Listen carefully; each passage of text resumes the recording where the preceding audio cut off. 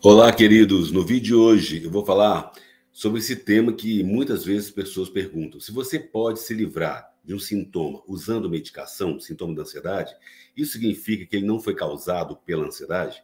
Na verdade, não é isso, né? Porque a gente entende que a ansiedade, o que causa ansiedade são as nossas preocupações, os nossos medos, os nossos anseios, os eventos traumáticos, os conflitos pessoais, familiares, as dificuldades da vida, as intempéries, as adversidades. Essa forma catastrófica de preocupação excessiva gera os sintomas da ansiedade. O que acontece é que, se você toma uma medicação e ela alivia os seus sintomas, a causa da ansiedade continua atuando no seu corpo. Então, você pode ter aquele sintoma aliviado, mas ele pode voltar depois em outro momento. Por exemplo, se você toma álcool um dia, está bebendo um vinho, uma cerveja, você vai sentir os alívios dos sintomas, vai ficar sem os sintomas, não tem problema nenhum, como foi a medicação. E aí depois eles vão voltar rapidamente. Como se você ficar 20 minutos na natureza, no verde, numa cachoeira, ali no mar, também você vai sentir esse alívio, essa calma, como um é, medicamento que aliviou os sintomas para você mas a causa da ansiedade continua, não é? Porque a causa da ansiedade, ela provoca uma resposta de estresse no corpo que pode ser agudo ou crônico. E é isso que vai explicar cada vez melhor para ficar tranquilo para você entender esse mecanismo. E você sabe que o principal é, tratamento para a ansiedade é justamente tratar essas causas. Aí você pode enviar para mim o um e-mail psicólogo.pauloalmeida.com com seu celular para a gente agendar uma sessão online ou aqui no Instagram, também me segue lá, manda um direct, vai ser um prazer atender você e compreender a sua necessidade, a ação, a ansiedade. E ainda, eu tenho aqui na descrição do vídeo um WhatsApp que você pode mandar uma mensagem privada para mim. Entra no grupo e manda uma mensagem privada, vai ser um prazer atender você.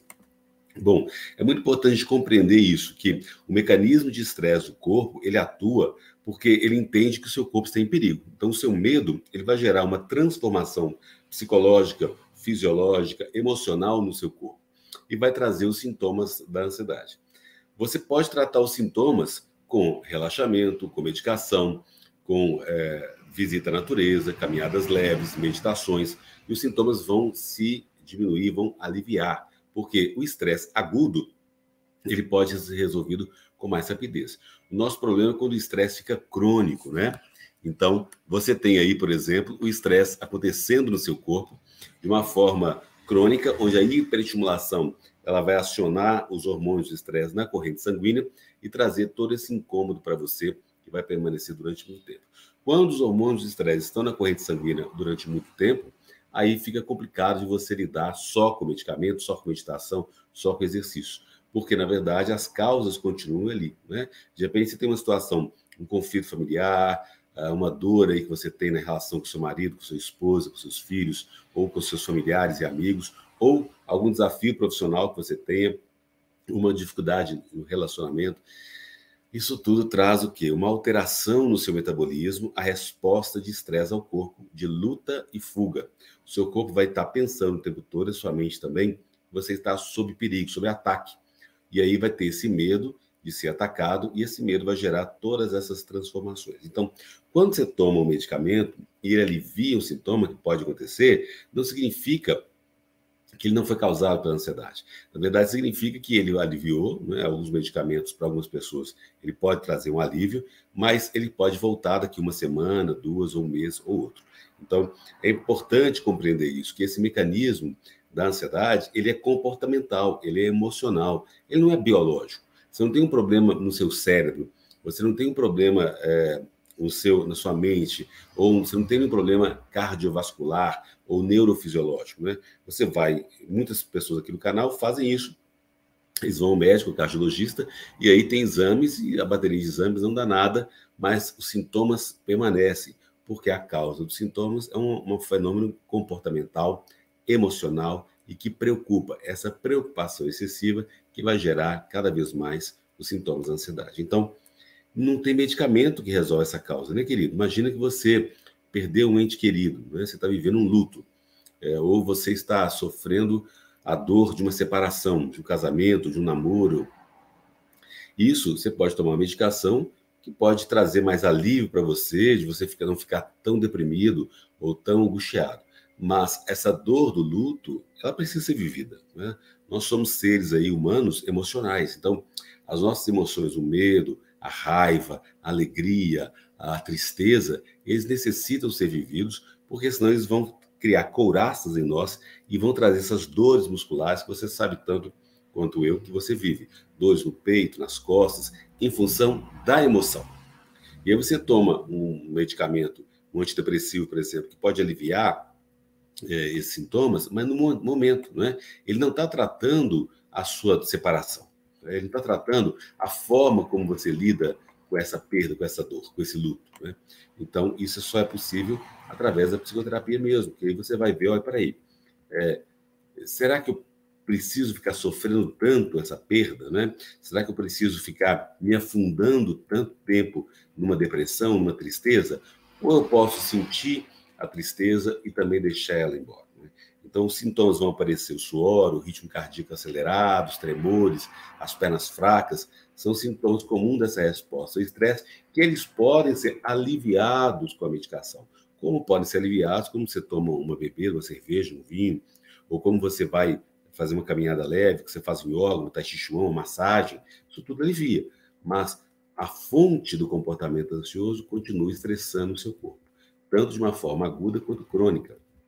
Então, quanto mais você tiver ciência e conhecimento de que essa hiperestimulação ela está desregulando, trazendo uma excitação do sistema nervoso central e desregulando o seu equilíbrio.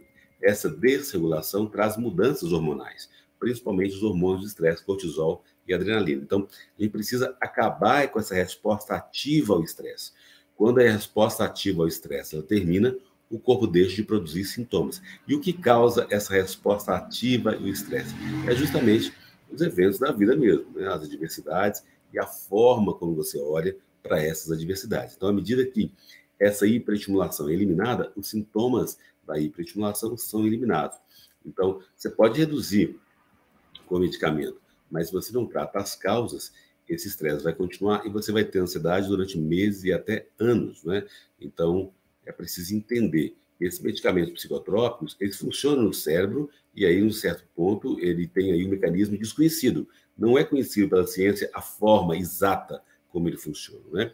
O corpo exibe um efeito desses medicamentos, mas não significa que é um efeito desejado ou pretendido. É apenas um efeito que pode ser benéfico e outros podem ter efeitos colaterais. É preciso de ter essa clareza aí do que está acontecendo com esses medicamentos.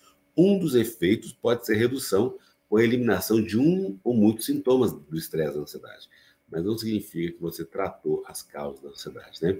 E aí você também não tratou como o estresse chegou do seu corpo, seu corpo, seu comportamento excessivamente ansioso, ele vai apenas significar que o corpo experimentou um efeito sedativo temporário, né? você ficou sedado com aquele medicamento, e aí trouxe um efeito benéfico, claro, mas o medicamento ele eliminou o sintoma naquele momento, mas não significa que ele esteja relacionado à ansiedade, na verdade. Né? Significa que o corpo respondeu ao medicamento de maneira favorável em relação ao sintoma.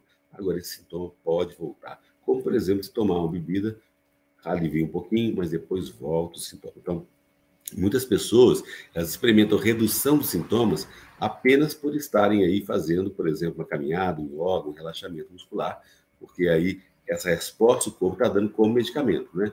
Agora, muitas condições médicas também podem causar sintomas semelhantes ao da ansiedade. Então, é importante sempre ter um acompanhamento médico, um acompanhamento psicológico, para você discernir e saber qual a causa exata e como tratar essa causa especificamente. Né? Qualquer redução de estresse pode aí é, ajudar na eliminação. Mas o mais importante é tratar as causas e praticar fielmente os exercícios do canal, as meditações, aceitar passivamente os sintomas, sem lutar contra. Quanto mais você relaxa, você se equilibra, pratica as meditações aqui com paciência, com tolerância, respirando com calma, você vai eliminar essas fontes de estresse cada vez mais a longo prazo. Querido, infelizmente, não há cura rápida para a ansiedade. Eu, todo mundo gostaria de ter uma pílula, né, um remédio que funcionasse mágica, mas infelizmente isso ainda não aconteceu. Por quê? Porque as causas da ansiedade são comportamentais. A nossa vida exige da gente coragem para enfrentar os nossos medos e os problemas, conflitos que nós temos cada vez mais. Então, isso que precisa ser tratado na psicoterapia. E aí, mais uma vez, se você quiser fazer uma psicoterapia online comigo, manda um e-mail para mim, psicólogo pauloalmeida.gmail.com ou um direct aqui no Instagram, você pode me seguir também lá, manda um direct que eu respondo, ou no WhatsApp, o link aqui na descrição do vídeo, você pode mandar uma mensagem privada para mim, entra no grupo e manda uma mensagem privada. E se você ainda não assinou o canal, lembra, assina aqui, dê um joinha, comentário, é muito importante. Clique no sininho para receber as notificações, porque eu posto vídeo todos os dias às 20 horas e as lives acontecem terças, quintas e sábados às 19 horas. E é um prazer ter aqui você nessa comunidade onde uns podem apoiar, possam apoiar os outros. Um beijo, até o próximo vídeo.